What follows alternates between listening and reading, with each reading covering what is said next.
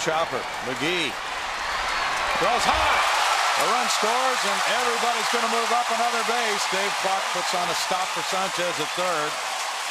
McGehee appeared to just take a peek toward home plate, and then he made the throw to first, which went high.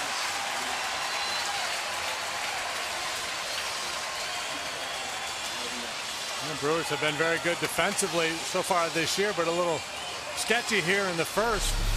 Weeks couldn't get that ball out of his glove cleanly on the Bourgeois base hit. Now Casey McGehee peeks home, and then the errant throw to first. What do, what do you do there, Jimmy, when the third baseman standing there gets the ball back after he pretty much helped you circle the bases and he's looking right at you? What's the feeling like? Oh, yeah. Yeah.